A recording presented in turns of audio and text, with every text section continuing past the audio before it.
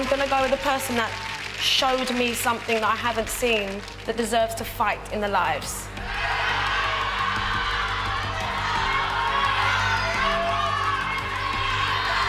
So the winner of this knockout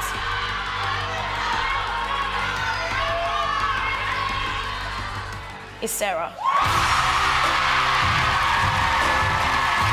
Sarah, congratulations. You are the winner.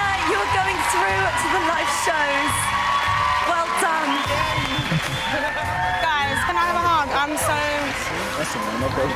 Oh my god. That was the hardest thing I've ever had to do. So that was tough. That was really tough. And guys, is there anything you want to say to Jessie right now? Uh, well, six months ago, I hadn't even done a gig, so yeah, just thank you. Yeah, just thank you so much, Izzy, for everything you've done. I'm glad I did it.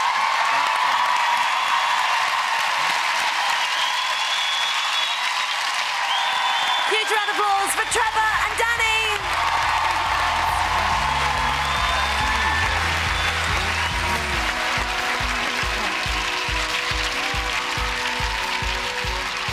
And so that leaves Sarah.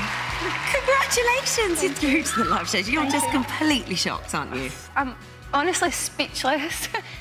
and I honestly thought that was my last performance. So You don't do a performance like that, and me, and me just bypass it. This is about opportunity, and you just grabbed it. Ladies and gentlemen, give it up for Sarah!